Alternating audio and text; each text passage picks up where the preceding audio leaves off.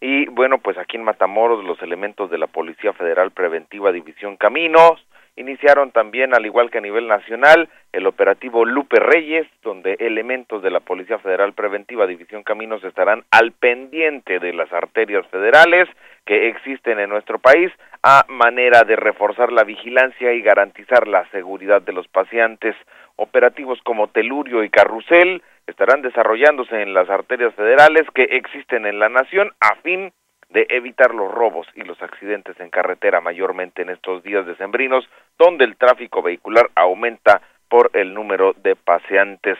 La Policía Federal patrullará las carreteras federales que conducen a Reynosa y Ciudad Victoria, más aún en esta última, la cual es utilizada no solo por paisanos, sino por habitantes de la región que irán al interior, aunque no informaron de los horarios en sí que estarán trabajando con el operativo Carrusel, personal de la Policía Federal Preventiva División Caminos en Matamoros señalaron que lo harán en el momento que sea necesario, custodiando a los automovilistas hasta cierto kilómetro de carretera. Vamos a trabajar con este operativo en estos días de diciembre,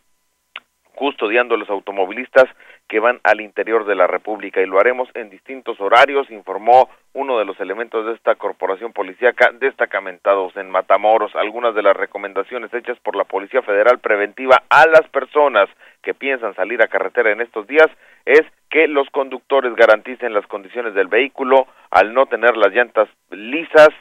que los frenos funcionen bien al igual que las luces y sobre todo no manejar cansados y bajo los influjos de alguna droga deben hacerlo en sus cinco sentidos, dijeron los elementos de la Policía Federal Preventiva. Este es mi reporte desde Matamoros. Que tengan ustedes un excelente día.